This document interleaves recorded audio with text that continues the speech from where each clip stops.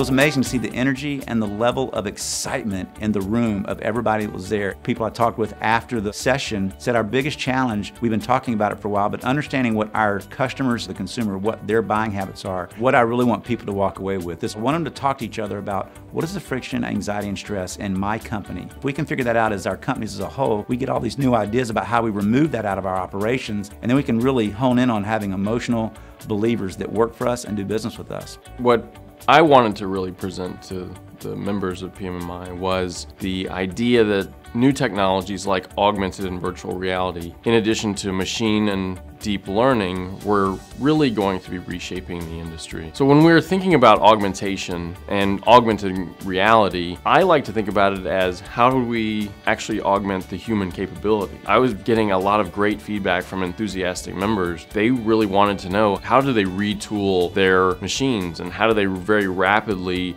equip projects with technologies to respond to consumers. I'm talking about uh, business etiquette around specifically email. One of the trends that I'm seeing within an office environment around email and email communication is a confusion on what to use. So there's more communication vehicles that people can use. Picking up the phone, email, instant message. So there's a lot more choices and people are confused on which one to use at which time. Well, today I presented on the topic of understanding risk, uh, primarily in the context of product liability litigation. I think it's important for the PMMI members to be exposed to and uh, educated on uh, product liability law in general, but also uh, the concept of risk assessment and hazard analysis is something that's always been high on PMMI's agenda, but from my perspective as a defense lawyer, is a very valuable tool in making all manufacturers more defendable. Uh, my experience here so far has been fantastic. Always enjoy an opportunity to speak to groups like this. You really missed out if uh, you're a PMMI member and did not come to this meeting.